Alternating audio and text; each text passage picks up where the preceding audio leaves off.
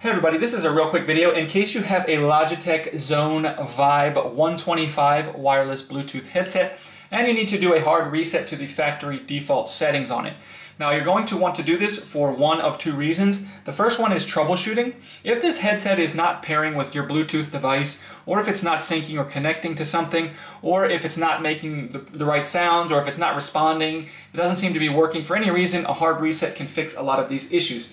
Now the second reason you might want to do this is if for whatever reason you just want to get these headsets back to the way it was when it came out of the box with it restored to its factory uh, default settings with all the pairing history and everything like that deleted off of it, this will do that for you. So, and it's real easy to do. All we need to do on this headset is we're going to come in here and we're going to find this call button and press it and we're going to press the volume down button as well. We're just going to press those two buttons simultaneously for about five seconds, keeping an eye on this indicator light down here. And when it starts to blink rapidly, it will blink, blink rapidly a few times and then turn off.